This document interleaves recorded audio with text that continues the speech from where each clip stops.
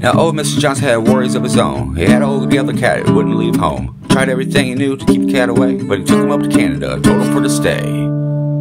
But the cat came back. The very next day, the old cat came back. Thought he was a goner, but the cat came back. He wouldn't stay away. Now, his cat was a terror, so he thought it was the best to give him to a feller who was going out west. The train ran around a curve, hit a broken rail, not a blessed soul aboard the train lived to tell the tale. But the cat came back.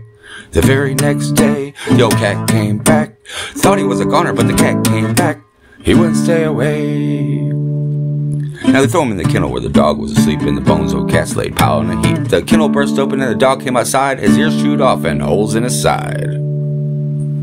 But the cat came back. The very next day, the old cat came back. Thought he was a goner, but the cat came back.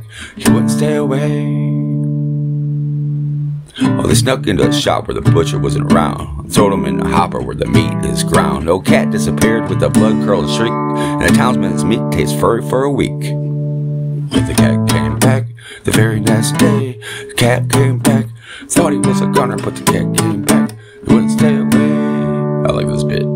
Now the farmer on the corner said he'd shoot the cat outside. He loaded up his gun with nails and dynamite. He waited in the garden till the cat came around. Seven little pieces of the man was all they found. But the cat came back the very next day. The cat came back.